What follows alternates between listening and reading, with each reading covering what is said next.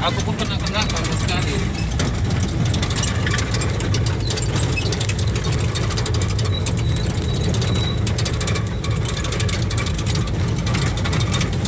Nampak lautnya. Apa danaunya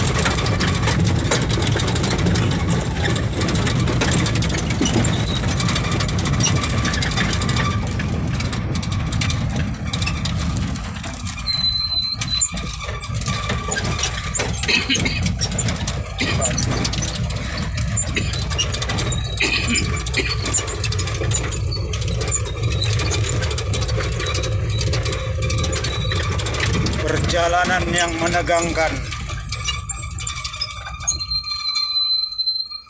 Hati-hati. Hati-hati.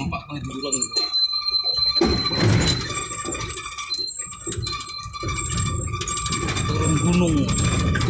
Kita akan menuruni gunung-gunung sampai ke dasarnya. Tertinggi ketinggian berkisar 3000 meter dari permukaan danau menuju ke Piton.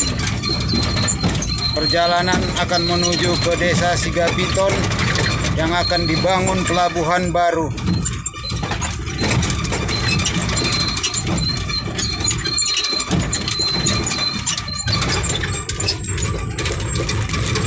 Ini supir yang sudah berpengalaman kisar 25 tahun